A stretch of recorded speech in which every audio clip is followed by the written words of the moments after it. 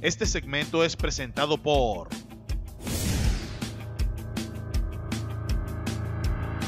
Señores, buenas tardes. Hoy es jueves. Vamos a ver, porque uno ha perdido la noción del tiempo. Pero hoy es jueves, 7 de mayo. Ya llegó el mes 5 del año 2020. Eh,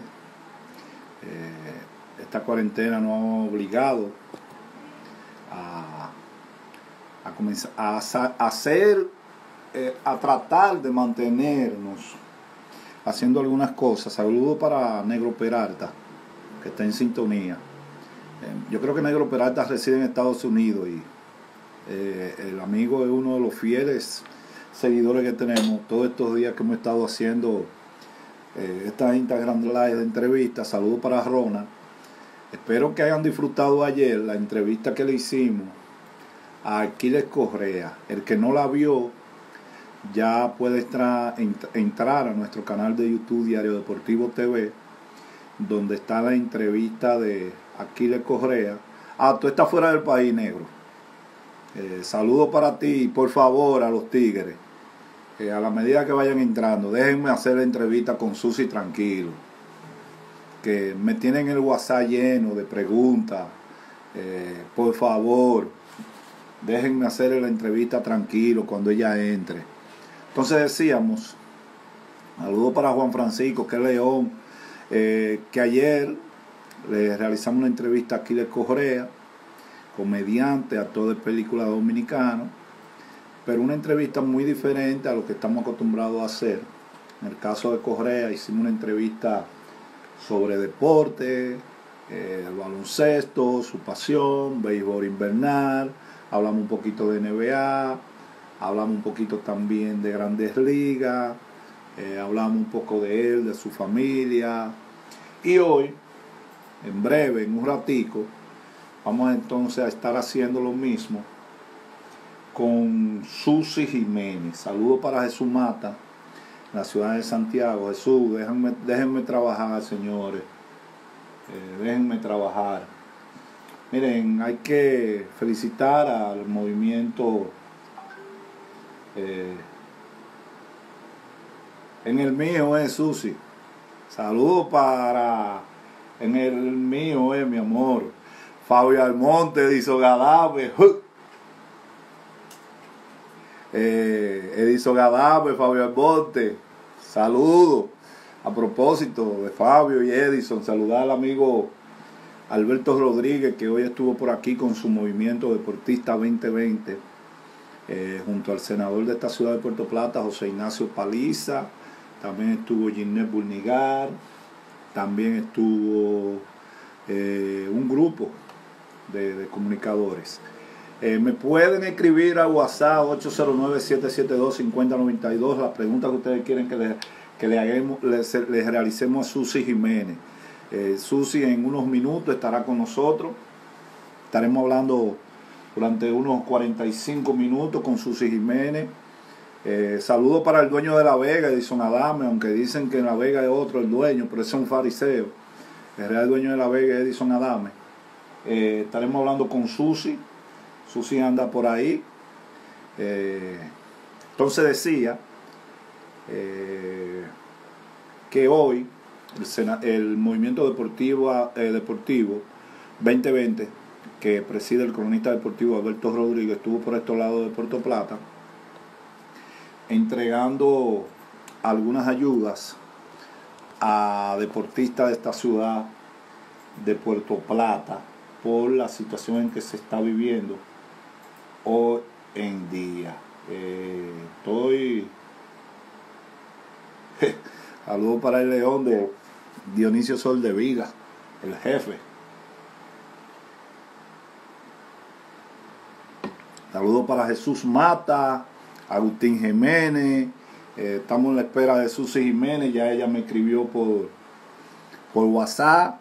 En cualquier momento también por ahí anda Dipaniagua. Un buen grupito. Un buen grupito. Susi jala gente. Susi Jiménez jala gente. Martín. Martín César, La Grasa Sport, Eh, ¿Quién manda por ahí? Jay-Z. Eh, y ya por aquí tenemos a la bella y amiga Susi Jiménez. Señores, eh, por favor, antes de entrar con Susi, hola mi amor, ¿cómo tú estás? Bien, ¿y tú? Eh, a los tigres, por favor, déjenme trabajar. Eh, déjenme trabajar. Me tienen el WhatsApp reventado. Déjenme trabajar. Hola, Susi, ¿cómo tú estás, mi amor? el que te oye a ti o el que te, el que te está escuchando ahora cree que es verdad. Deja a esos muchachos tranquilos que ellos son buenos. No, pero tú lo sabes, yo soy un niño, yo soy un muchacho tranquilo. Que me... Eso que tú ves en los parques de prensa cuando nos juntamos es es algo para botar la presión. ¿Tú ves? Oye, hasta, hasta eso me hace falta, el palco de prensa de las águilas. Hasta eso me hace falta, increíble. A ti, dama. Me hace falta todo. ¿Tú sabes, tú sabes que hoy estuve junto con Alberto Rodríguez y Rafael Fainete en una actividad que, que ellos eh, realizaron aquí en Puerto Plata con el movimiento que tienen apoyando a Luis Binader. Y estaban hablando que, que sin sitio que estamos. Susi, ¿cómo está eso? Esta cuarentena, háblame. Eh, bueno, aquí trabajando dentro de lo que se puede. Tú sabes que esto nos agarró a todo el mundo como fuera de base. Eh, en verdad, uno, uno nunca pensó, uno sí sabía que podía extenderse, pero no tanto. Se está hablando de que si se va a jugar, se juegue, se juega en julio, agosto, no solamente MLB, sino toda la liga. Entonces eso como que nos agarró un poco fuera de base, pero aquí trabajando. Es, un poquito complicado porque uno está acostumbrado yo para esta fecha eh, estar fuera del país en alguna cobertura. En el caso tuyo ya tú tenías tu compromiso fuera del país. También la, la, la, el, el, día a día de Grandes Ligas, NBA. Ya para esta fecha la NBA hubiese estado en los playoffs prácticamente. Eh, pero nada, eh, vamos a esperar, por favor, a los Tigres, déjenme trabajar eh, vamos a esperar que con Dios delante todo pueda mejorar en cualquier momento. Eh, vamos al mambo. Eso, es lo que uno espera. Dale, dale, mambo, que yo sé que tú estás loco por arrancar. Dale, dale. No, no, no, no. Susi, el origen tuyo. Todo el mundo ve a Susi Jiménez en los estadios, pero el origen tuyo. ¿De dónde viene Susi Jiménez? Mucha gente me dice que tú eres vegana vegana porque eres de La Vega, pero háblanos de tus orígenes. Eh, bueno, sí, mucha gente me pregunta eso, me dice, por fin, ¿de dónde que tú eres? ¿De Jaina? ¿De La Vega? ¿De Baní? ¿De dónde que tú eres? Mi mamá es de Baní, este, y mi papá es de Cotuí. Este, yo nací en La Vega porque se dio la oportunidad de que yo naciera allá y tengo familia, pero yo soy de Jaina, yo soy jainera. Yo vine a Jaina a los cinco años y, y, tengo toda la vida viviendo aquí y yo soy jainera. Ah, pues, pues Jaina la Manuela, David Ortiz, Mequi Cabrera. No, no.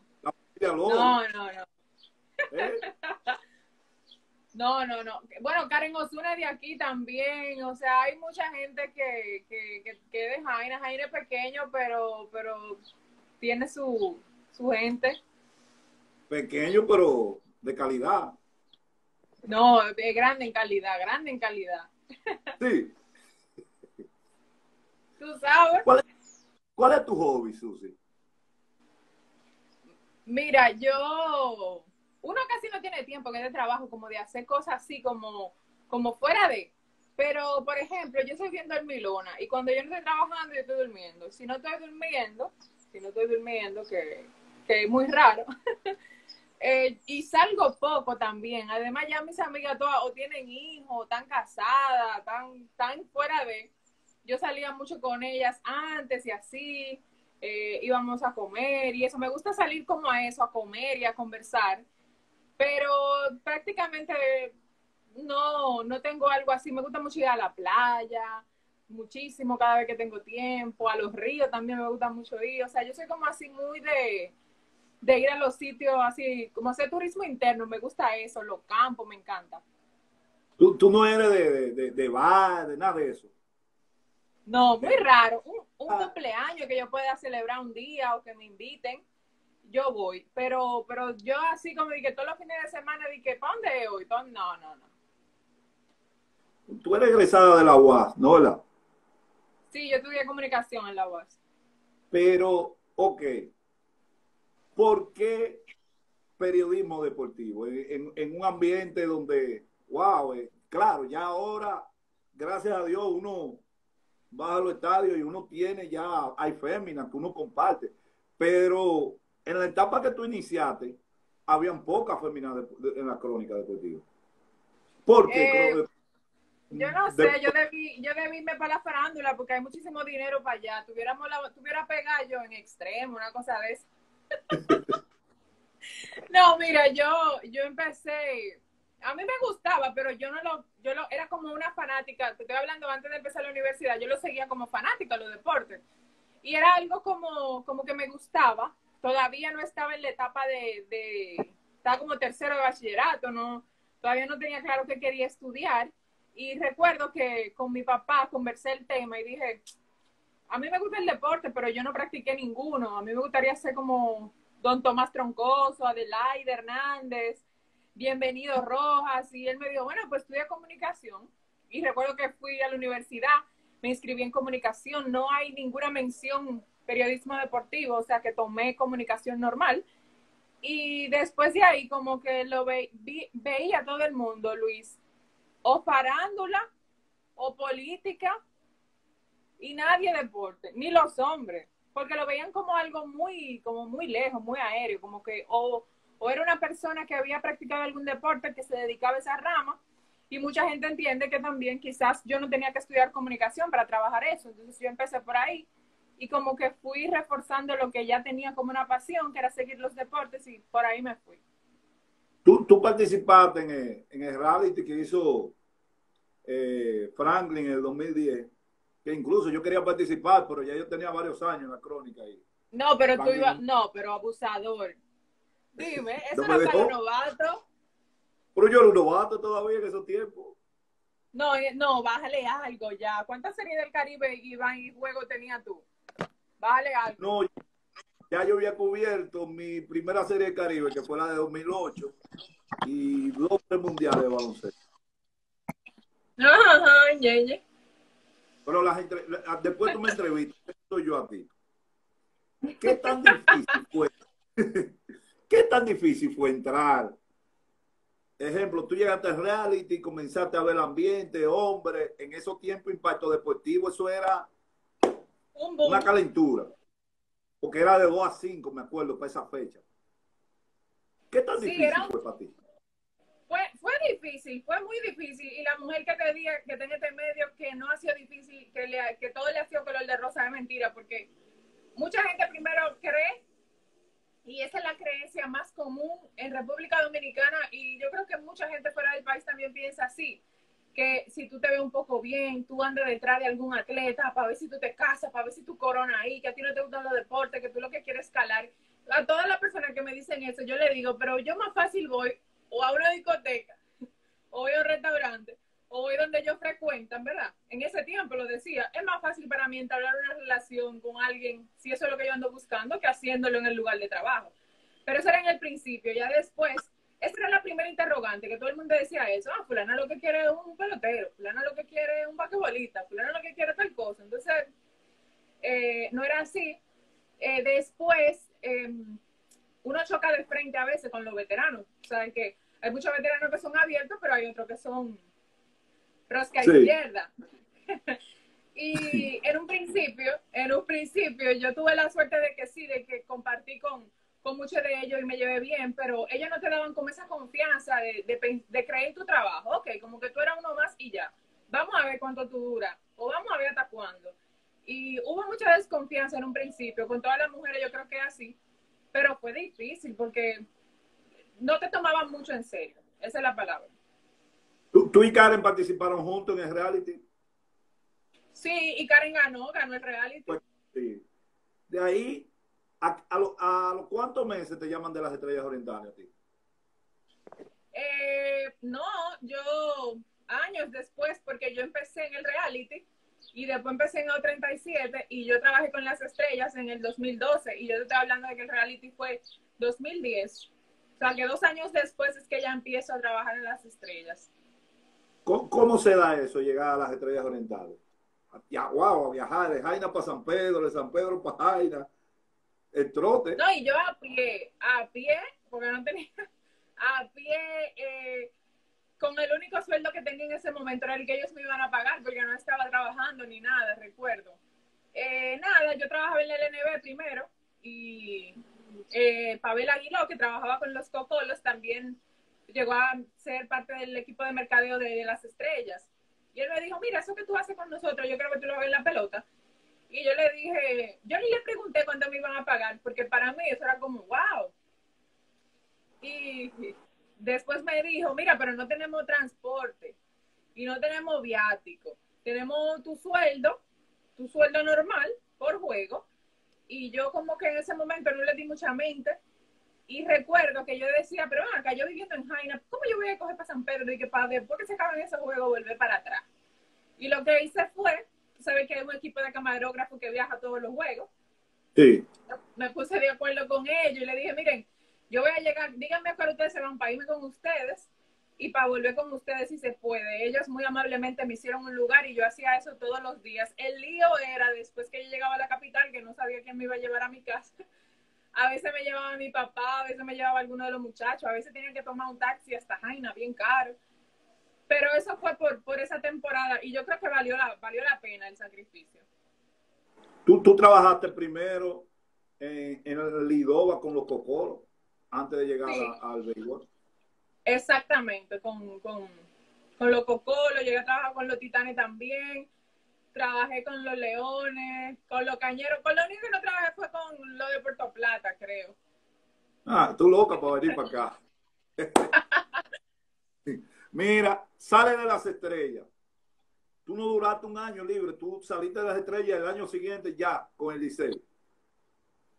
Sí, eh, tú sabes que todavía voy a San Pedro y, me, y mucha gente me dice, "No", al principio ya no, la gente ya como que lo superó, pero me decía, traidores, te fuiste para el liceo con ese compitaleño. Porque mucha gente pensaba que yo era de San Pedro, porque decían, bueno, pero es que ella trabaja aquí, ella no va a venir de la capital a trabajar aquí, seguro ella es de San Pedro.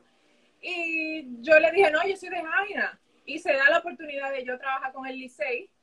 Obviamente la oferta no, no, no es que fue muy buena así, no me hablaron de precio ni nada, pero yo dije, wow, mira, voy a trabajar en la capital, voy a trabajar en un equipo como el Licey, ¿verdad? Con toda la historia que tiene. Independientemente el trato con las estrellas fue uno a fue de familia. El señor Mayen, muy, muy buena persona y también Pavel Aguiló.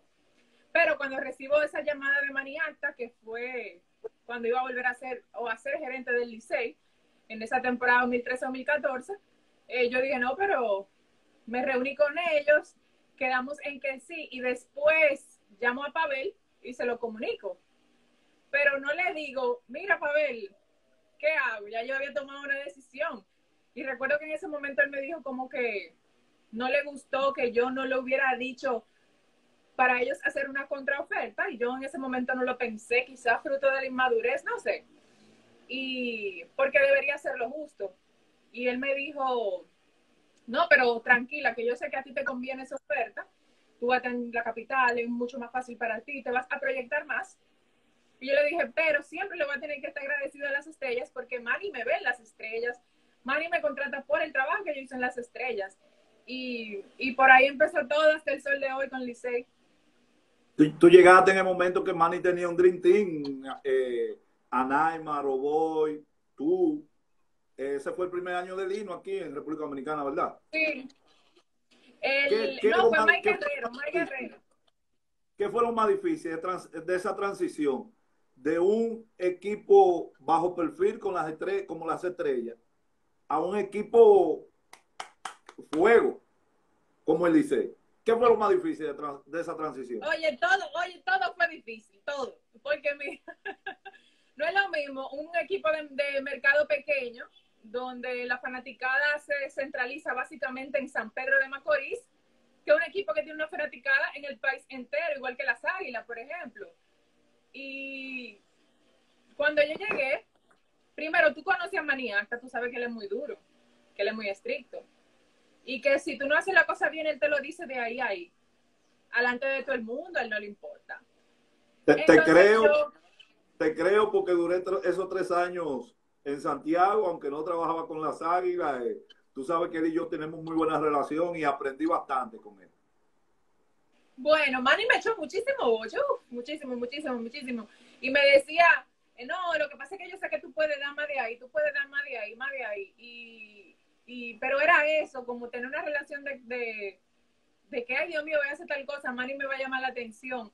También relacionarme con los jugadores, porque era la primera vez que ellos iban a estar de tú a tú como una mujer. Tú recuerdas que ya no, pero yo al principio viajaba en la guagua. Y eso es un poco chocante para ellos porque ese es su espacio ese es su espacio donde ellos hablan eh, como ellos quieran, sin vigilancia ni nada, y yo era como infiltrada. Eso fue difícil. El primer año, sobre todo, después no. Después ya yo tenía mi asiento, me lo guardaban. Si no me iba en la guagua, me preguntaban que por qué no me fui y todo eso. Pero eso, y trabajar con Maniacta, fue eh, un camino de aprendizaje, porque todo el que está eh, al, lado de Mani aprende mucho. Es muy duro, es muy duro, pero es muy bueno porque te exige mucho. Sí. Eh, ¿Cómo fue tu primera experiencia? No en la capital, pero esos viajes a Santiago, Licey y Águila, que tú sabes que, ahora después que tú no viajes, que no lo vivimos, pero siempre teníamos que buscar el lado, estar tranquilo en un lado por esa bulla del, del palco de prensa y uno que tiene, tiene que trabajar después de juego con los peloteros. Pero ¿cómo fue esa experiencia para ti ese primer año? El primer año, yo nunca lo voy a olvidar porque es como yo te decía, no es lo mismo, tuve un juego por televisión. Ya yo había ido al Estadio Cibao como fanática. Pero tú ibas a trabajar, llegaba a una práctica en el Estadio Cibao.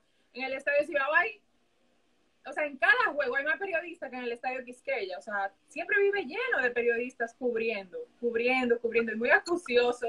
Siempre te preguntan, siempre quieren saber, o sea, muy activo. Eso me gusta de la Crónica de Santiago, que siempre está presente en todos los eventos. Ellos faltan poco. Y lidia con eso. Lidia con los fanáticos, por ejemplo, que, te dicen cualquier cosa cuando tú vas caminando y que te dicen, ah, te vas para tu casa perdida, liceíta. No te vayas. o sea, todo ese tipo de cosas. El palco, el palco es una de las mejores experiencias. El que no ha tenido la oportunidad de ir al palco de, Santiago, se, la está perdiendo toda, porque yo en un principio tenía miedo. Y yo recuerdo que tú fuiste una de las personas que me dijiste, no, tranquila, que aquí no se va el malío, no va a pasar nada, no te preocupes. Porque yo veía a esos periodistas ya de larga data, diciéndose de todo. diciéndose de todo. Yo dije, no, pero, ¿y qué es esto? Me recuerdo que una vez tú me dijiste, pero cómo es que tú no eres de Santiago aquí? Tú controlas. Y yo, no, porque ya, ¿qué es lo que yo voy a hacer? Yo me hago el loco, pero yo controlo toda esta gente. Susi. No, y que, y que uno tiene que llevarse de, de, la chercha, como decimos nosotros, porque si uno se molesta por lo que se diga ahí o lo que no se diga, se, no vuelve. No, en mi caso yo tengo que manejarme porque yo trabajo para un programa que fuego. Y Exacto. Tengo que estar manejándome, pero necesito también estar en buena con los muchachos de Santiago por el asunto de que en cualquier momento se me un lío y ellos son los primeros que me defienden, como ha pasado muchas veces. Es un lío, es un eh, lío. Tu, experiencia eh, eh, en el Licey, siendo la primera mujer que trabaja en una transmisión y ese morbo que hay detrás de, del, del, que trabaja con el Licey, porque hay un morbo. Eh, yo siempre he dicho que trabajar para el Licey, trabajar para las Águilas, en el caso tuyo, trabajar para la Z, trabajar para Grandes los Deportes, en la pelota invernal, hay un morbo detrás de nosotros. Pero en el caso tuyo con el Licey, ¿cómo tú te manejas con esa situación? Mira, es, es, muy difícil como tú lo dices, sobre todo cuando tú al mismo tiempo estás haciendo una labor en otro medio y también trabajas con un equipo. Porque lo primero que te, como que se rehuyen un poco son los mismos peloteros que no quieren hablar contigo, porque dicen, tú eres de nosotros, tú trabajas para nosotros. Entonces tú vas ahí a pasar esa entrevista a la Z. Ahora sí, porque se perdió como la conexión un ratico. Sí. Entonces tú me decías que a tener la dualidad de función, trabajar para la Z y trabajar para el equipo, que hasta los mismos peloteros tienen miedo. No, sí, ellos, ellos, tú sabes que ellos se ponen moca porque dicen, espérate, ahorita sale algo que yo dije aquí y va y si lo riega ya. Pero yo tengo mucho cuidado con eso, sobre todo cuando hay un tema que trata que tiene que ver directamente con el equipo, yo trato de o de mantenerme al margen o de ser lo más objetiva posible, aunque no beneficie directamente mi comentario a los Tigres del Licey, que es el equipo para el que yo trabajo. Pero uno tiene que tener mucho cuidado. Mucha gente dice, bueno, es que tú en la Z eh, trabajas en la Z o en cualquier otro medio, en la semana deportiva, pero tú también trabajas para el Licey. Y aunque mucha gente de afuera no lo ve así, tú sabes que uno tiene que tener cierto alineamiento para el equipo que uno trabaja, porque te llaman a capítulo. Te llaman a capítulo porque tú eres un empleado de un equipo. Eh, no me ha pasado, no me ha pasado. Yo he evitado que eso pase. Nunca nadie me ha llamado del liceo y me ha dicho no diga eso o por qué dijiste eso. No me ha pasado en estos seis años. Pero uno tiene que cuidarse porque uno no puede ser juez y parte. Uno no puede estar con Dios y con el diablo. Entonces tú mejor mantienes una posición.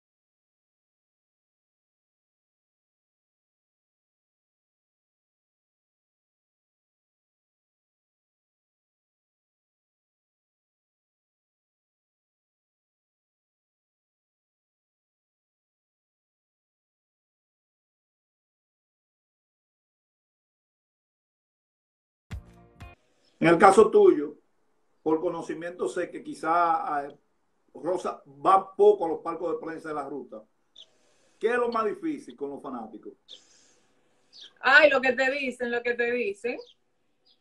¿Qué te has dicho? ¿Qué te ha dicho un fanático? ¿Eh?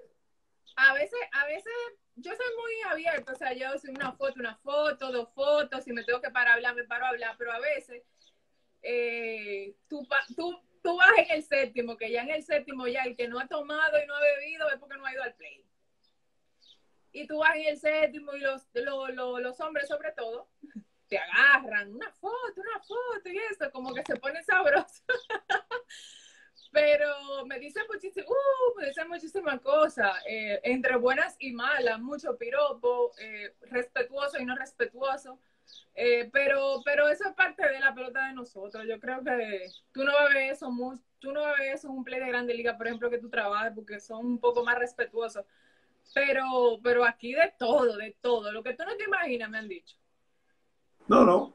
Eh, ejemplo, ¿cuál es el estadio más difícil para ti? Cuando juega Licey en la ruta. ¿Cuál es el estadio donde tú dices, wow, eh, me toca bajar después del juego para el terreno de juego? No, Águila, Águila, Águila y Gigantes. Tú sabes que esa gente de Macorís no... Oh, esa gente de Macorís no cogen esa. Sí. Oh. Ah. Ellos son muy efusivos, ellos son muy efusivos. Y tú sabes que cuando Liceo iba a San Francisco va mucha gente.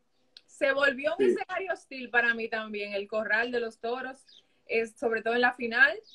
los toros que venían de, de ganar todo, ellos estaban pues y llenando su parque, se veía todo muy bonito, ellos no tampoco, ellos no se la ponían fácil y eso que yo me senté adelante, adelante, adelante y de atrás iban a darme cuerda, pero pero Santiago, Santiago es y mira que especial.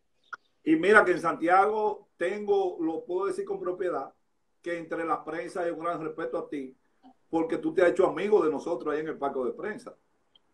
Oye, y me he hecho amigo de, personajes que son difíciles ahí. Son difíciles esos personajes. Sí, sí, no.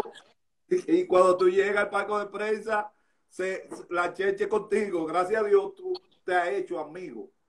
Estoy, Eh, estoy loca que, que empiece la temporada cuando sea que vaya a empezar, porque tengo mucho que no voy. Quiero ver a Fellito, quiero ver a, to- a todo el mundo, quiero ver por allá. Ahí anda Fellito, Sandy Jiménez, Jesús Mata, anda ahí también en, en- en el live. Sí. Ah. Te hemos visto también en cobertura internacionales, ya nos hemos topado tres o cuatro veces. Saludos para Fausto Quesada, excelente periodista, Licey campeón, oh, un aguilucho. Pero bueno, Mucho, mucho liceísta, mucho liceísta. En, en, tú que me hablabas ahorita de Puerto Plata, hay muchos liceístas en Puerto Plata, mucho. sí, sí. Em- Estuvimos juntos en Puerto Rico y en Sí. Washington hemos estado juntos tú y yo. Sí, ¿Cuál- no, me, es? no me hiciste coro en Puerto Rico, no sé, andaba tú para allá con tu gente de ESPN, no me hiciste coro, pero tú estás querido como quieras. No, tú sabes que, que en Puerto Rico eh, estaba, estábamos complicados. Porque Tú sabes que... No, yo sé, yo sé, yo sé. No, y que andaban, andaban los, los, los, los- los jefes. La plana mayor, andaba la plana mayor, yo te entiendo. club, y, después llegó eh, Dionisio, entonces había que trabajar, buscar- sacar contenido o sacarlo.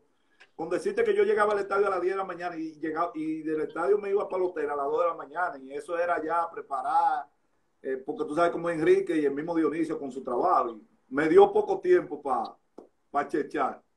Ay, tan bueno que dicen que Puerto Rico para chechar.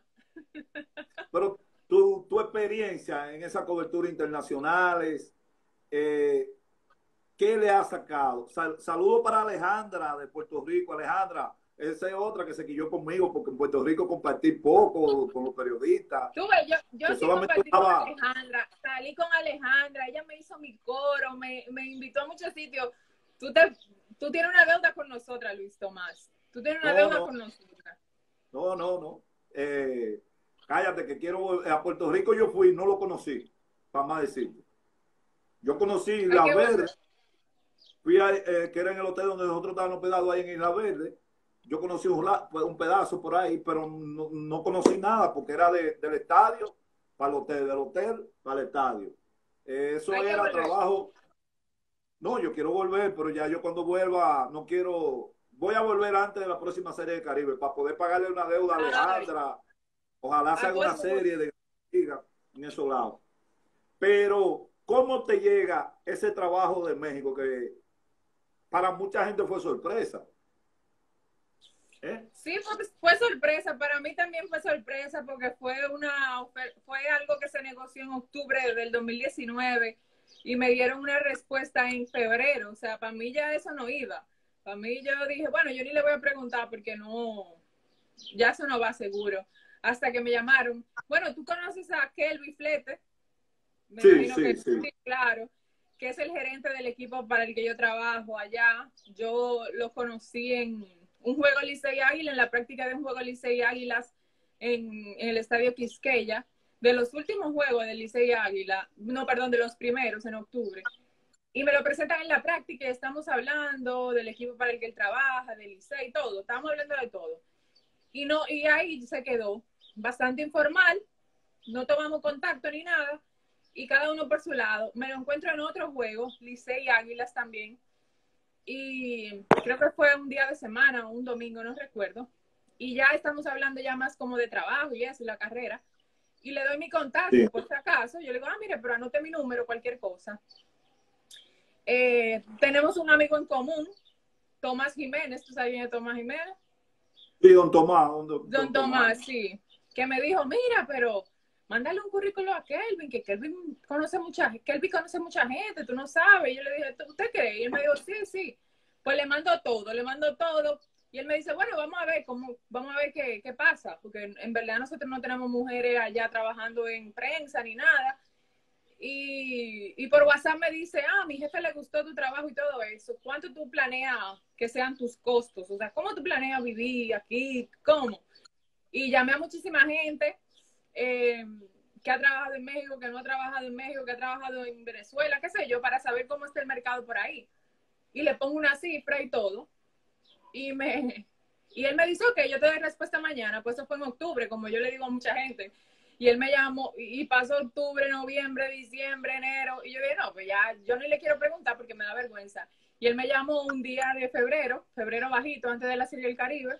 Y me dijo, mira, el jefe de nosotros aceptó todo. mándame la foto de tu pasaporte para, para comprarte el vuelo y que vengas a finales ya de, de febrero para los entrenamientos. ¿Qué, cuando, ¿Qué es lo más difícil ya tomar esa decisión? Dejarlo todo aquí, porque independientemente sea un trabajo temporal, antes del, del asunto del coronavirus eran seis meses. Y seis meses tú irte, donde tú tienes trabajo fijo, es, es difícil porque tú dices, ajá, y yo lo voy a dejar todo en Dominicana para después cuando yo vuelva no tener que hacer o, o qué. Pero yo dije, bueno, si uno quiere oportunidad, uno tiene que arriesgarse. Yo dije, yo me voy a ir. Hablé con mis diferentes jefes, hablé con Héctor J. Cruz, hablé con mi jefe en la Z y en otros trabajos que tengo y le dije que yo necesitaba una licencia aproximada de unos seis, siete meses porque yo volvía y que si ellos estaban de acuerdo, todos estuvieron de acuerdo, me dijeron que sí, gracias a Dios y, y le di y le di y llegué a, y llegué a México, a Texas. Porque eso es en la frontera México con Texas, que tú estás ahí mismo. Exactamente, exactamente. ¿Qué se ha hablado con relación al reinicio y cuáles son los planes que tiene la Liga de México? Bueno, la semana pasada hubo una reunión y lo último que me informaron fue que eh, se iniciaría en agosto, o sea que falta un tiempo todavía. Los, ahora sí, los entrenamientos iniciarían a mediados de julio, por ahí, y iniciaría en agosto, agosto bajito, este, el primero o por ahí, pero más o menos eso, o sea que, que ese sería el mes, pero no hay una fecha todavía. Susi, con relación al medio en sentido general, ¿cómo tú ves el medio ahora mismo? Hay muchas, muchas jóvenes como tú, aunque ya, ya tú estabas pasando, de, de, ya tú eres una de las veteranas de lo, del grupo. Ey, Pero. ¿cómo tú has visto el crecimiento de usted de la mujer en la crónica deportiva? Yo creo que está muy bien porque hay mucha apertura ahora. Eh, porque cuando yo empecé, ya Raquel estaba, por ejemplo, Raquel Infante, que nos debe una comida también, nos debe una comida Raquel. Este, pero ya Sí. nos habrían abierto las puertas de Laida, la misma Falia, Natacha Batista, más mujeres que iban haciendo el trabajo, pero no era igual, porque ahora hay muchas mujeres haciendo esto. Entonces, cuando yo me imagino que las chicas que quieren estudiar eso y ven tantas mujeres ya en el medio, se ven reflejadas y dicen, oye, pero hay muchas, es fácil, déjame yo inscribirme o déjame hacer un curso de locución. Si, si realmente pues lo puedo hacer y demás. Y yo creo que ahora es mucho más fácil por eso, porque hay una apertura. Ya los medios ven atractivo que una mujer hable de deportes eh, en un canal de televisión, en radio, en las redes. Entonces ya como que es un terreno que llama mucho la atención y yo creo que todavía le queda mucho que explotar aquí. Hay respeto hacia ustedes. Hay Sí, yo creo que hacia sí. ustedes. Yo creo que sí, que creo que eso se, se gana. Entre También ustedes, ¿cómo se llevan? También sí, yo creo que el respeto a, entre nosotras ha cambiado. Eh, yo creo que todo el profesional tiene, una, tiene varias etapas. Yo creo que en un principio muchas fuimos muy inmaduras y quizás no nos comportamos de la forma correcta. Yo creo que ya hay mucho respeto. Yo respeto lo que las demás hacen. Cada quien tiene su estilo, cada quien es como es. Este, a la gente le gusta diferentes estilos, o sea, porque si no fuera muy, muy aburrido. Pero yo creo que sí que hemos aprendido poco a poco a, a respetarnos. En los últimos años siempre ha habido en las redes el morbo de la gente. Eh, como tú trabajas para el Licey, es lo que te dije ahorita, siempre eso va a, a traer un morbo. Me pregunta por aquí, tengo el WhatsApp abierto en la laptop, Lleno, me imagino. Que cuando, ¿cuál es el récord del Licey cuando tú vas con el pantalón blanco? Mira, y yo tratando de que no me hablen del pantalón blanco otra vez, pero es algo que me va a perseguir durante toda mi vida. Este, no, recuerda que se marcó el, eh, se manchó el récord del pantalón blanco co- porque ganaron las águilas ese campeonato, pero era, yo no había perdido, eran como, antes de perder eran como 0 y 8, 0 y 9 por ahí. Sí. Eh, ¿que ¿Cuál es el estadio donde tú me- mejor trabajas fuera de la capital? Wow, qué buena pregunta. Eh, me gusta mucho. Nos quedamos en lo del pantalón blanco, que tú me andas sacando el cuerpo esa pregunta y cayó la pregunta. Eh, no, no, el pantalón blanco no. Yo dije que ganamos 0 y 8. 0 y 8 y ahí se quedó y las águilas ganaron ese último juego y se, y se fue. A los detalles, ¿cuál es el estadio donde tú mejor te sientes trabajando fuera de Santiago, de la capital? Sí, me quedé en eso. Eh, para mí el trabajo se me, se me hace fácil en las estrellas. Y digo fácil, entre comillas, porque por lo general no hay tanta cobertura. Uno tiene prácticamente el estadio para uno solo ahí. En la romana también es bastante fácil porque los medios son como muy de la cadena. O sea, ellos hacen la antesala y algunos periodistas cubren, pero no hay tanta gente en el terreno, no hay tanto periodista en el terreno. Contrario, por ejemplo, a Santiago, que hay mucha, mucha gente y a veces se te dificulta tomar un pelotero porque ya otro lo está esperando, tú tienes que hacer una fila. Este. San Francisco Complicado. también. Porque, Complicado eso por su juego en Santiago. Uf. San Francisco también, porque como queda tan cerca de Santiago, muchos periodistas viajan a San Francisco, si va al Licey, si va al Cogido, entonces uno como que, que también tiene mucho, muchos colegas ahí, es más difícil, pero yo creo que la Romana y San Pedro es cómodo. Que, ¿Cómo te sientes trabajando? ¿Cuál fue tu experiencia en la semana deportiva? Bueno, muy buena. Don Héctor no es muy estricto. A mí nada más me ha tocado trabajar con gente estricta y eso es bueno porque eso te exige mucho en tu trabajo. Pero yo peleo con él, él pelea conmigo, nos reconciliamos, me echo un boche. Eso es una relación de, de como de padre e hija, la que yo tengo con don Héctor J. Cruz. Siempre voy a agradecerle la oportunidad y, y, y nada, to- todo el que conoce el trabajo de, de Héctor J. Cruz en el periódico, como periodista de mucho tiempo, la Semana Deportiva es de los programas, eh, tiene que ser más antiguo de televisión que está al aire todavía, ya más de 20 años. Y, y yo súper bien, me llevo bien con él, aunque peleemos. Dice Manuel Suero en Miami que si tú vas para el Clásico 2021 y que si vas a estar invitada a una parrillada en su casa en la piscina. No, yo, yo voy y ahora más todavía. ¿Dónde es que él vive? ¿En Miami? En el mismo Miami, como a 10, 15 minutos del estadio. No, y más si tenemos suerte, ¿verdad? De caer ahí, que se van a jugar esas tres etapas en Miami. Mira, un éxito. Claro, No, no claro, va- ya no ven. Dios delante nos va a tocar un mes en Miami. Así Eh, que, que si tú te visualizas trabajando fuera de, de Estados Unidos, en Estados Unidos, en béisbol de grandes ligas. Sí, yo creo que esa, yo me visualizo así, ojalá y pueda ser así. Yo acepté esta oportunidad de trabajar en México, en la Liga Mexicana, buscando eso, eh, como parte de la experiencia que yo me entiendo que debo ganar para poder ser, destacarme en otro lado. Yo creo que sí, yo creo que no solamente yo, yo creo que en general uno tiene como siempre una meta. Y, y si eso llega de la mano de trabajar béisbol fuera del país, yo creo que, que es importante. Yo, claro que sí, mi sueño es trabajar para un equipo de grandes ligas en prensa, o sea que, que sí, quién sabe. ¿Tú te consideras en la actualidad ser la mejor cronista deportivo femenino? No. No, no, no. Yo, yo creo que cada quien tiene sus fortalezas, su debilidad. Y ahora hay un grupo bien bueno.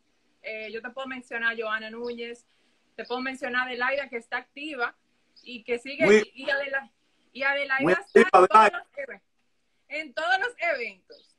O sea, Adelaida tiene como 20 años cubriendo entre Serie del Caribe, Juego de Estrellas, Serie Mundial. Eh, te puedo mencionar a Laura Bonelli también, que sus redes son su plataforma y lo hacen muy bien. Te puedo mencionar a... Hay muchas, Cintia Morillo, que ahora está en oficina, pero que es muy buena. Eh, hay muchas mujeres que están haciendo muy buen trabajo. Yo no, yo no me considero... Eh, Franklin hizo un, un, un ranking el otro día y lo que hizo fue meterme en un lío porque me empezaron a escribir muchísima gente. Yo le dije, ¿qué reperpero que usted ha armado con eso? Y él me dijo, no, no, eso es parte de la Chelsea, pero, pero yo como le puse en el post a Franklin, todas somos, tenemos nuestra debilidad y fortaleza. Él, él hizo uno también ahí con los cronistas del Cibao y, y ya tú sabes, reperpero para todos estos lados. Increíble lo de Franklin. Me, me metió, yo le dije a él que esta cuarentena tiene que acabar porque él tiene que buscar algo que, con que entretenerse. Sí, pero ok, Sus- pero, pero dime, dime. Tú trabajas con el Licey. Ni Dios lo quiera mañana, tú no estás con el Licey. Y las águilas cibaeñas te ofrecen. ¿Qué tú haces? Pero ¿cómo que me ofrecen?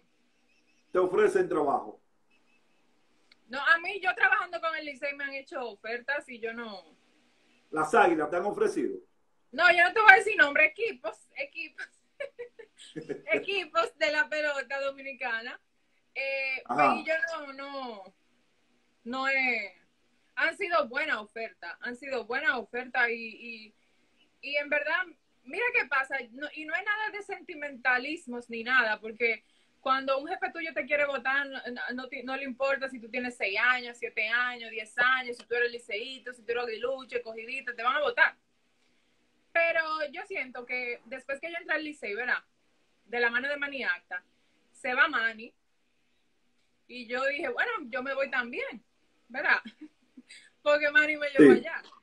Y yo vi que no pasó nada. Inclusive yo recuerdo que ese año donde hubo la transición, yo, yo pregunté como, ¿y qué va a pasar con el departamento de prensa? ¿Va a quedar igual? Y ellos me dijeron, sí, sí, porque tú haces muy bien trabajo. Tú no estás aquí necesariamente porque Mani te trajo, sino porque tú haces bien tu trabajo. Y como que, que ellos me dieran esa chance de yo realmente mostrar mi trabajo, como ese voto de confianza. Eh, yo siento que fue muy bueno porque me, me ayudó bastante. Creo que poco a poco he ido escalando. Yo, yo solamente hacía entrevistas y me iba para mi casa. Eh, después eh, empecé a hacer la antesala de manera fija. Eh, la temporada pasada tuve una aparición como comentarista en la temporada. Yo creo que lo que lo que viene de ahora en adelante con los Tigres del Licey es seguir escalando porque si yo llego a otro equipo, a menos que no sea en un rol más que el que yo hago con el Licey, ya una comentarista fija y demás, no, no me interesaría por ahora, por ahora. Te ofreció Manny irte para águilas cuando él se fue. No, no, no, no, no, no. No, pero yo lo tenía en Q por si me votaban, porque yo decía... yo decía, bueno, pero imagínate, déjame yo tener a Mari, Mari ahí. No, y de verdad tú sabes que yo recuerdo que yo le escribí a Manny. No, no como con esa intención de que, mire, ¿qué usted va a hacer conmigo si me votan? No con eso. Yo le, le, le decía suerte, le dije que siempre voy a estar agradecida y todo eso. Y recuerdo que él me devolvió en un mensaje y me dijo, óyeme, todo el crédito de lo que tú has hecho es tuyo. Si no te hubiera llevado yo, te hubiera llevado otra gente. Yo solamente te di la, la entrada. Y, pero si, si me toca trabajar en otro equipo que no sea Licey por la razón que sea, yo, yo voy a trabajar. Ok. Eh, pregunta caliente. ¿Eres casada o soltera? Pero, ¿qué tiene eso de caliente? Yo estoy pensando que otra cosa que tú me vas a... Te voy a tratar suave, tú sabes que tú eres mía y yo soy tuyo. Tenemos que manejarlo. Y ya uno no está para el machín, mi lío. No, es verdad, eso como que ella como que no está, ¿verdad? No, Pero- no. Ya, ya No. esa etapa, ya esa etapa se quemó de estar armando lío en las redes. Eso yo lo dejé a Franklin, mira, va. Bueno, eh, casada no, casada no soy, casada no soy. Ya déjalo ahí, casada no soy. No soy casada todavía. Te, te atribuye una frase a ti. ¿Cuál? Eh, la mujer que dice que está sola está hablando mentira. Claro. Ah, mira, ¿Eh? déjame saludar, déjame saludar a mi gente, a Amor, a Bill, Bill, que trabaja con nosotros allá de nosotros allá en el Licey. La mujer que está sola, es mentira, ninguna mujer está sola. Por menos agraciada que sea físicamente, eh, emocionalmente, intelectualmente, ninguna mujer está sola. Porque, o sea, no es que yo digo que obligado una persona tiene que estar con, con un hombre ni nada, pero uno te manda un mensaje, uno te pone un mensajito por WhatsApp, uno un día te llama, me acordé de ti, pasé por tu casa. O sea, el estado de soledad de las mujeres es muy mínimo. No digo que no haya mujeres que no lo hagan, pero es difícil que una mujer no tenga a nadie, a nadie, ni con quién hablar, ni a quién llamar, ni a quién escribirle, ni a quién buscarle conversación, ni con quién juntarse a beber un café, una cerveza, lo que sea. Eso, eso, eso, eso ya no, yo no lo veo tan común, pero hay muchas mujeres que dicen que no, pero yo digo que sí, que ninguna mujer está sola. ¿Cómo te visualizas en tres años? Bueno, en tres años, casada, sí, ya yo me quiero casar, Luis Tomás. Ya yo no, ya yo no estoy patada en el mercado tanto tiempo. Atención, tigre. Véale ahí, ya lo dijo, que se quiere casar. Oye. Yo, eso fue un mensaje directo. Eso fue una puya directa. Eh... Bueno, ¿tiene nombre esa puya? Tiene nombre. Yo, yo voy a grabar este live. Yo voy a grabar este live, pero eh, sí, yo, eh, yo quiero eso, ya fuera de lo profesional yo quiero eso, y si no, y si no me caso, que si quiero tener un hijo ya, eh, como ir dándole forma a mi vida privada ya, porque no, es, no he descuidado mucho. Saludo, te manda saludo un vaquebolita. No sé de dónde salió ese saludo, parece que es pana tuyo. Manny Quesada. Ah, claro, claro que sí. Nos conocemos de redes y creo que cubrí una vez un, un, juego de la selección que se jugó aquí, ahí lo vi, pero nunca he tenido la oportunidad de entrevistarlo ni nada. Un saludo para él, claro. Es sobrino mío. Puerto Plateño. ¿Tú sabías que es sobrino mío? ¿Es hijo tuyo? Sobrino. Pero de verdad, de familia. Sí, él es hijo de, de, de mi hermano, de, de Amaury Quesada. Pero tú, tú, tú, bueno, tú estás pegado, Luis Tomás. Tú te tiras muerto, pero tú estás más pegado que el diantre. Date quieta, date quieta, que ya te veo con verdad. Susi, para finalizar, ¿qué valor tú le das a la familia? Eso es lo más importante. O sea, yo, por eso te digo que ya me quiero enfocar en eso del aspecto familiar de mi vida, porque la familia no te deja nunca. Y, hay, hay, gente que se queja a veces que dice que, ah, que yo me crié sin madre, sin padre, pero por lo general esa gente que no tuvo ni a su papá ni a su mamá, tuvo a los abuelos, o tuvo una tía, o un tío, o un primo. Siempre hay alguien de tu familia que se preocupa por ti y eso es algo muy importante. Entonces yo quiero ir como, mi papá y mi mamá, o sea, son muy importantes en mi vida. Sin mi papá yo no hubiera podido hacer crónica porque los primeros tres años de mi carrera yo no cobré nada y no me pagaban nada. Y él fue que me apoyó durante todo ese tiempo hasta que yo empecé a cobrar. Me llevaba a los sitios y me esperaba y me volvía a llevar. O sea, eso solamente lo hace una persona de tu familia, porque nadie está dispuesto a hacer ese sacrificio. Entonces eso es lo más importante para mí. Para mí lo más difícil de yo irme a trabajar a México fue eso, yo tenía que dejar tanto tiempo sin ver a mi familia. Eh, y yo entiendo a los peloteros ahora y a los atletas en general, eso no es fácil, para nada, tú dejas a tu familia. Así que quizá de aquí a tres años ya yo empiece a formar mi familia. Ya Yasmin se me fue adelante, ya tiene su bebé, o sea que ya yo tengo que ponerme en eso. Trabajar en la Z, ¿qué significado tiene para ti? Muy bueno, no es lo mismo cuando tú trabajas, por ejemplo, en un equipo de pelota, como lo que te da Licey, te da Águila escogido, que la gente te reconoce en la calle. En radio, mucha gente se fija de tu trabajo porque no te está viendo y mucha gente valora lo que tú haces porque no te está viendo. Y dice, ah, tú eres fulana, ah, pero tú te escuchas muy bien, muy buen trabajo. Porque la televisión es mucha imagen y la gente te ve, ah, fulana es bonita, fulana es fea, y quizás ni siquiera se fijan bien de lo que tú estás diciendo. Pero tener compañeros ahí como Héctor Gómez, Orlandito, Jonathan, Jorge, Mendoza en una etapa, fue muy, muy bueno. Eh, ha sido una buena escuela. Tenchi. Tenchi, uff, sí, lo quiero mucho. Bueno, tú que has compartido con Tenchi, el mejor anfitrión donde tú vayas. Si va a Nueva York, te trata como un rey. Mira, cuando voy a Nueva York se incomoda conmigo porque yo voy al estadio, no lo Ajá. Eh, es, es lo merengue, merengue, bachato típico. Mira, eh, bachata soy muy mala bailando bachata, mala. Hay que bailarme bailando bachata, pues soy muy mala. Pero merengue sí bailo, el típico me encanta. Tú sabes que yo, yo puse en Twitter hace, hace tiempo que estoy loca por ir a una fiesta, no sé si en San Francisco, que se baila mucho típico, en Santiago, de. Raquel, Ra- Raquel Arias, ¿es que se llama? La de, Sa- Santiago. ¿cómo es que se llama la señora de, de con la grama chapia? Esa misma, Raquel Arias. Raquel Arias, Raquel Arias. Estoy loca por ir a una fiesta de ella y bailar. Estoy loca por ir. Ok. Mira, dice uno que si tú bebes romo o cerveza. Tú- a ver, las dos cosas. depende del humor, depende del humor, depende del humor. Ay, sí, esos, esos palcos de prensa hace tres años atrás. Sí, mucha gente, tú sabes que, que por lo general cuando uno está trabajando uno no está pensando en eso, pero uno sale del estadio, a veces es un juego largo, mira que uno lo único que quiere es beberse una cervecita o darse un trago con los amigos y eso. A veces perdido uno o ganado también, uno, uno quiere eso. ¿Qué, qué te recuerda que pica? Eso da kepi. Esa es otra ¿Eh? corita, sí, sí, claro, totalmente. Esa palabra es tuya. ¿Eh? Esa es palabra es tuya. El que pica, eso es mi de ella. Tu mejor momento en la crónica. Yo creo que es mi mejor momento como experiencia, tú dices, algo que haya pasado. Sí, como experiencia. Yo creo que el, el- los dos campeonatos de trabajando para Licey han sido muy bien porque tú lo ves como un logro tuyo porque tú coges la misma lucha prácticamente que cogen ellos, claro, en diferentes medidas, pero cuando tú ves que ese equipo gana y que tú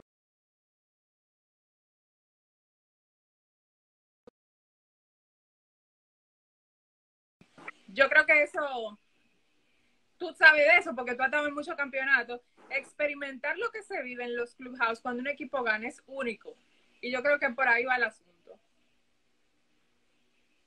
¿Qué se celebra más? ¿Un triunfo de Licey frente a las Águilas o un triunfo de Licey contra cualquier otro equipo?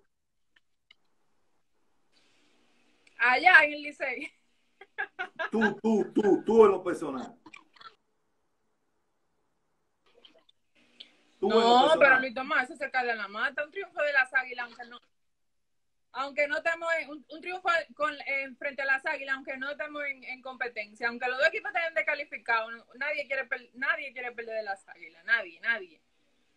Susi, para finalizar, ¿qué mensaje tú le das a esas jóvenes que quisieran ser, estar en los medios y hoy está en el sillón tuyo? Eh, muchas chicas me han escrito eso mismo, que quieren trabajar para un equipo, que quieren trabajar para el Licey, que, que, qué deben hacer, que qué deben estudiar. Eh, yo creo que lo más importante, en vez de estudiar comunicación y locución, o antes de eso, porque también se puede hacer, eh, es tener conocimiento en sí del deporte. Si lo haces como fanática, tratar de perfeccionarlo, eh, porque ese va a ser tu trabajo de día a día. Y en un país como la República Dominicana, donde todo el mundo sabe de pelota, de baloncesto, tú no puedes hablar cosas que no son, porque la gente te va a decir, mira, no, eso no es así. Entonces, yo creo que, que eso, prepararse, la preparación es tu, carta, es tu carta de presentación y es lo que ayuda a que tú te mantengas.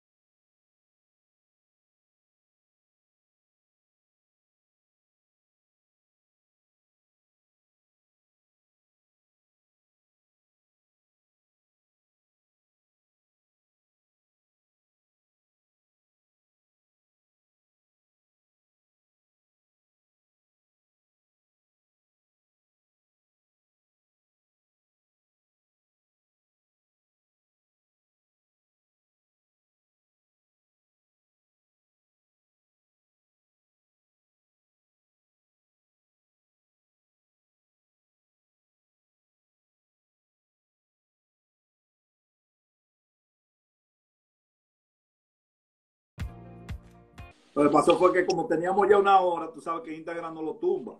Entonces, No, yo me, lo, yo me lo imaginé porque no, de repente se apagó, pero Sí. retomando ya todo, ¿verdad? Hay como un plan con nosotros, con este live.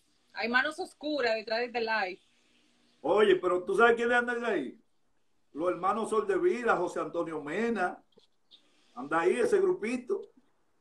¿Eh? No, pero algo, algo pasa que se ha, se ha, cambi- se ha caído ese like como dos veces, ya que es lo que pasa. Por- por, eh, Omar, tu amigo de Boston, también anda ahí. Omar Guzmán. Y mi hermano, mi llave, ese es mío, mío con papeles. Sí, tú sabes que de la primera experiencia que yo tuve en televisión fue con Omar. Él fue productor de un programa con el que yo trabajé que se llamaba Fogarate Deportivo. Un tremendo productor, Omar. Muy bueno, muy bueno. Miren, para terminar, tres preguntas que ustedes le quieran hacer a Susi. Vamos, hagan la pregunta y yo se la voy a hacer. Eh, vamos a ver. Susi dice, Mori Surena, que tú eres lo mejor. Ay, gracias, Mori. Vamos, tres preguntas.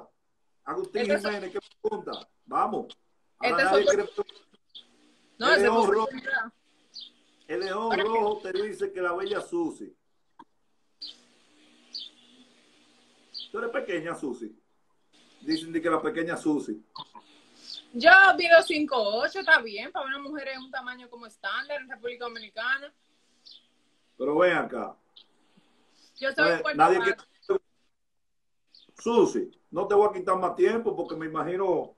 Ah, dice desde Boston que esperan verte trabajando con los Medias Rojas de Boston. Eh, que si los peloteros te enamoran y dice José Antonio Mena que en Santiago tumban los live. No sé a qué se refiere con eso. Qué malo, José Antonio. No, eh, que si los peloteros me enamoran mucho, no. Al principio sí, te puedo decir que sí, que cuando yo empecé sí, porque era como algo nuevo, ah, una chica. No, yo creo que ya, por lo menos en el liceo, son como, yo soy como parte de la familia, ya ellos me ven como alguien que siempre está ahí, eh, me respetan mucho, yo los respeto a ellos también, pero cada vez que llega uno nuevo, eh, un, un, un novatico o un importado, ellos siempre le dicen, ¿y esa muchacha que trabaja aquí, quién es? Dime de ella. Dice, oye, me es Jesús, si tú la vas a ver siempre, ella es como hermana de nosotros, olvídate de eso, que ella trabaja con nosotros aquí. O sea, como que es parte del proceso, pero no, los muchachos son buenos y son tranquilos. ¿Tú te has visto en una situación con un pelotero como que, que llega un momento que tú tengas que decirle, oye, ya, para, para? Eh, sí, tú sabes que para la mujer es muy difícil como que ponerle un stop. Y te voy a decir por qué, aunque uno lo hace.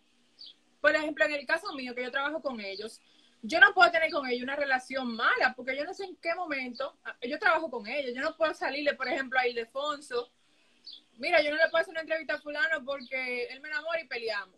¿Entiendes? Yo no puedo hacer eso, yo tengo que llevarme bien con todos, por lo menos lo de mi equipo, ya lo de otro equipo ya es clase aparte. Entonces yo trato de tener con ellos una relación cordial y de respeto y, y, y, y demás. Yo recuerdo que el primer año que yo empecé en el liceo, yo me puse un anillo, yo tenía novio para ese tiempo, un novio de muchos años, yo me puse un anillo, yo le digo, oye, me voy a casar, oye, me voy a casar.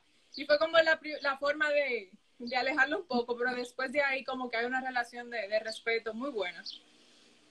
Dice por aquí que cuál fue el momento más bochornoso que tú has tenido en, en el béisbol. Como el momento más desagradable. Mm, no he tenido momentos, a- bueno, me- lo que me pasó esta temporada me pasó con, que lo hizo el público, con un seguridad que creo que fue un poco irrespetuoso, sobre todo porque yo no estaba violando ninguna regla y él me ve ahí, o sea, me veía ahí todos los días, yo lo que estaba era trabajando, inclusive con el seguridad, estaba entrevistando a Lino Rivera para, para la gente que no se recuerda de- del asunto y yo sé que la Sí, prensa debe salir, la prensa debe salir media hora antes del terreno, eso yo lo sé, obviamente, pero todavía faltaban unos 15 minutos para eso. Ya yo había hablado con Lino, o sea, yo estaba en mi tiempo. Cuando estoy entrevistando a Lino, eh, él se mete varias veces, el, el, el, el policía, en la, en la entrevista, o sea, en medio de la entrevista, porque ya déjame terminar. Sí. Y el mismo Lino en una le dice, oye, papá, respeta, porque yo una dama, ya te pidió permiso y todavía no se acaba el tiempo. Entonces me sentí mal por eso. Recuerdo que lo hice público. Me pidieron disculpas. eh, el mismo jefe de seguridad me llamó al otro día y me dijo que lo excusara, que, que ok, que no, que no volverá a pasar. Pero no solo porque fue a mí, sino porque eso le, le, le pasa a mucha gente. y no solamente en el estadio Quisqueya, en general, hay gente como que, que entiende que está en un puesto y que es superior por eso, entonces como que no me gustó la forma. Esa ha sido la experiencia más desagradable porque él prácticamente me cogió de la mano y me sacó del play. Entonces yo dije, bueno, si eso soy yo, que estoy todos los días aquí, que no he infringido ninguna no, eh, norma, ¿qué será una persona que quizá no, no la ven nunca? ¿Qué le van a hacer? Dice Bismar Alcántara que cómo te fue en México en los pocos días que estuviste allá y si vuelve para allá a trabajar cuando se reanude todo. Sí, vuelvo para allá. Eh, la fecha, como te dije hace un rato, sería en agosto. Me iría a mediados de julio. Si empieza siempre la, la pretemporada, iniciaría en julio y la temporada en agosto. Me iría. Eh, y la pasé muy bien. Los mexicanos son muy chéveres. La comida es muy buena, pero es muy picante. La comida es muy picante. ¿Qué, ¿Cuál es más fácil de trabajar en la liga de aquí o en lo, lo que viste en, lo, en los primeros juegos, la, el momento que estuviste en México? No, para mí aquí es más fácil trabajar porque solamente son seis equipos. Allá son 16 equipos. Y para tú manejar todo, eh, tiene que estar como que bien enterado de lo que está pasando, tiene que estar muy pendiente al juego. Para mí es más difícil aún porque yo acabé de llegar, o sea, yo tenía que empezar a estudiar la historia de todo eso, de la temporada más reciente. Para mí es más difícil la otra, pero veremos ya cuando yo esté como que a la par, a ver ya si yo puedo hacer una comparación más eh, una mejor comparación para ver. Algo que preguntan, que es el diario Vivir Mío, que cómo uno se prepara para trabajar con equipos diferentes todos los días. Es decir, hoy juega Licey con las Águilas, pero mañana juega Licey con los Gigantes. Yo lo sé, pero es alguien que me lo está preguntando que te lo pregunte a ti. Eso, eso es un reto muy, muy importante y yo creo que en el caso tuyo, eh, que lo haces diariamente cuando está la temporada, no importa el equipo o sea, no es solamente las águilas, son todo el equipo. Eh, es más difícil todavía. Y porque tú tienes que estar tanto de todo. Y a los peloteros no dominicanos, en general, no les gustan que siempre le, pregunten lo mismo. A ellos les gusta que tú le preguntes cosas que realmente ellos entienden que tú sabes y que son de ellos.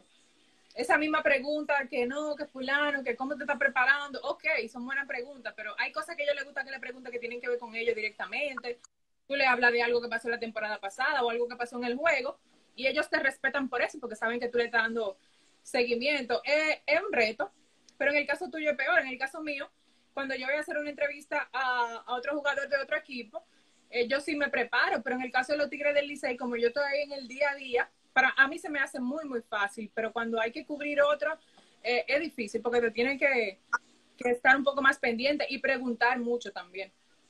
En el caso mío, yo tengo que estar los nueve innings pendientes con el celular, la tablet, chequeando todo, porque a diario tengo que trabajar con los dos equipos, en prejuego y muchas veces en el postjuego tengo que hacerlo con los dos equipos, por trabajar para la empresa que trabajo. Que viendo la situación actual, que si se complica la, Liga de México y todavía eh, inicia la temporada quitando la de México, que cómo tú te, te harías. No, oye, no me hable de eso, que yo he pensado eso muchas veces, yo no sé, pero lo más probable, lo más probable es que la temporada se recorte en México de ciento y pico de juegos que ellos juegan, jugarían menos de la mitad, o sea, jugarían algunos 50 juegos. Eh, y eso llegaría a un máximo como hasta de octubre a mediados. Y lo que se ha dicho aquí de la Liga Dominicana es que iniciaría eh, a finales de octubre o noviembre si todo se da como está planeado, yo cuando viene a ver no pudiera estar en los entrenamientos. No sé, en verdad, a ver si me da el tiempo, pero sí, yo creo que yo estaría para el inicio de, la temporada, sí. Entonces, última pregunta es, ¿qué, qué tan difícil es tú manejar el, el ambiente? Entrevistar a un pelotero en español ahora y a los dos minutos entrevistar a uno en inglés. Oye, me es una pena porque a mí se me cruzan a cada rato la palabra. Se me cruzan. A veces yo estoy entrevistando a, un pelotero en inglés y le meto una palabra en español y él me dice, ¿qué? Y yo no me doy cuenta que yo le estoy haciendo esa pregunta en una palabra en español. Después que yo la veo, yo digo, ¿qué fue lo que yo le pregunté ahí? Eso me ha pasado muchísimas veces. Eh, y más cuando, por ejemplo, cuando se acaban los juegos, tú sabes que el pelotero se quiere ir para adentro. Entonces tú no quieres ser tan extenso ni quiere hacer una entrevista súper larga porque ellos están cansados y tiene que ser lo más eh, precisa posible. Y, y, esa rapidez hace que uno se equivoque mucho. Pero, por ejemplo, en México, con la experiencia que tuve en los entrenamientos, oye, ahí todos esos jugadores, la mayoría, tenían nombre de latino y ninguno hablaba español, todos hablaban inglés. Entonces yo empezaba mi entrevista en inglés pensando que este hombre hablaba español era, perdón, empezaba mi entrevista en español pensando que hablaba español y lo que hablaba era inglés y, y por ahí se va, pero no es tan fácil. Uno tiene como que detenerse un poquito, pensar un poco las cosas, pero no es fácil. Yo me he confundido muchísimas veces. Una mía, para terminar ya. ¿Cuál es el pelotero más difícil de entrevistar del Licey? Lo quiero mucho, lo quiero mucho, porque es una tremenda persona, pero Juan Francisco no es un cachú. Juan Francisco es, óyeme, y a mí lo que más me da de Juan, ¿tú sabes qué? Que él, eh, fuera de la entrevista, te brinca y te salta y te dice que sí, que sí, que sí, que sí, que eso va. A la hora de la hora es difícil que, que tú lo encuentres. No sé por dónde se va, no sé por dónde se mete. Pero, pero sí, Juan, Juan es súper difícil de entrevistar y no porque él no, no, no hables, sino cuando él esté dispuesto a hablar, es difícil. Un día él está de mil amores, pero otro no. Que por cierto, se, se vi que se conectó ahí Orlando. Sí. Orlandito. Sí. Orlando Méndez, que se abrieron los salones ya. Yo no, no, pero yo te iba a decir que tú me preguntaste que cómo trabajar en la en la Z. La semana deportiva, en la Z. Óyeme, tú has tenido la oportunidad de tratar a Orlandito, ya tú te lo puedes imaginar como compañero de trabajo. Eso es una, una cosa increíble. A veces yo me río de algo y él se empieza a reír, nos reímos los dos y ni siquiera sabemos de qué nos estamos riendo. Pero es muy buen compañero, o sea, te, es muy fácil de tú entablar un tema con él porque él está siempre de buen humor, es muy difícil que no esté de buen humor. Eh, y es una checha, en verdad, mucha, una checha, yo respeto mucho su trabajo, a veces me da cuerda al aire y me pone en situaciones difíciles, y mi papá escuchando el programa, pero él está querido. Vi que Franklin Mirabal lo retiró. Pero eso vi yo también. Pero ahí hay como un chisme, yo no me quiero meter en eso, pero ahí hay como un chisme de, de, de, de narradores yo no me voy a meter en eso, porque cuando yo le pregunté a Orlando en el programa el otro día, me dijo di que, no, yo no sé, yo no sé, pero no me dijo más nada. Y yo, pero desmiéntelo. No, no, yo no me voy a meter en eso. Y yo dije, bueno, ahí hay como un lío, déjame yo de eso así. Mira, eso huyendo. Está Dios huyendo ahí. Mira, dice Ramirito que si tú tienes lesión con el romo, que si, que cuál es, que si entra viejo, que si es que cuál es, pero ve acá. No, es leyenda, siempre leyenda. Siempre leyenda. ¿Eh? Siempre leyenda. leyenda. Tenemos que juntarnos después que todo esto pase. Háblame de Kepi. ¿Cómo es esa amistad entre tú y Kepi? Tú sabes que Yasmin era, era selección de voleibol. Eh, sí. Ella lamentablemente se lesionó eh, joven y la tuvo que dejar, pero el que ve a Kepi es una morena que intimida y sabe que jugó voleibol. O sea, no es dije que, uh. y empezamos por eso. Yo la conocí en, en medio del, del trabajo. Eh, ella siempre fue mi compañera de los juegos de baloncesto, de voleibol y eso. Y hasta el sol de hoy hemos como que entablado una muy linda amistad. Ya su bebé tiene ya tres meses. O sea, tenemos una bonita relación de amigas. Susi, despídete, mi amor. Eh. Y mira, ¿qué dice? Ángel, Ángel Ivo desde Filadelfia. Saludos para Ángel, Ángel, mi hermano. ¿Que ¿Por qué Bryce Harper es tu jugador favorito? Señores, la gente le intriga eso. La gente cree que porque Bryce Harper es rubio y fuerte. Eso ayuda, pero no es lo único. No, tú sabes que cuando, cuando él y Mike Trout fueron novatos eh, en sus respectivas ligas, a mí me, como que de los dos, siempre me gustó Bryce Harper, porque, porque es como un poco más irreverente, y como ellos debutaron juntos y eso, mucha gente se iba con Mike Trout, yo me iba con Bryce Harper. Sus primeros dos años en Washington fueron muy buenos y demás, y como que me gusta ese estilo, él pelea, perrea los batazos, y a mí me gustan los jugadores así, como que son irreverentes.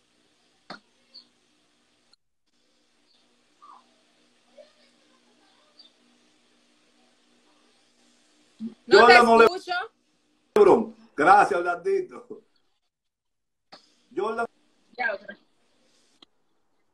Ah, No, lo que pasa es que yo, yo vi a Jordan al final, o sea, yo sé lo grande que fue Jordan, pero yo no soy Team Jordan por eso. Quizás si yo hubiera vivido la magia de Jordan, pero, o sea, lo que son de mi generación vieron a LeBron desde el principio. Yo valoro el que lo haya visto a los dos y que pueda hacer una comparación más terminada, pero yo soy Team LeBron. Aunque le duela a Jorge Mota, se tiene que dar dando con, con la pared. Que si te gustaría algún día trabajar para los Yankees de Nueva York, dice uno ahí. Pero ¿y a quién le dan pan que llore? Y esa pregunta, ¿y cómo tú le dices que no a los Yankees? Orlandito, ya ya respondió si tenía novio o no. No, oye lo que él pregunta, y que tiene novios. Ah, son varios. No, no, bájale algo, Orlandito. Señores, me estoy calentando esta entrevista. Vamos a tener que decirle a Omar Guzmán que sube este live entero porque esto va a ser histórico.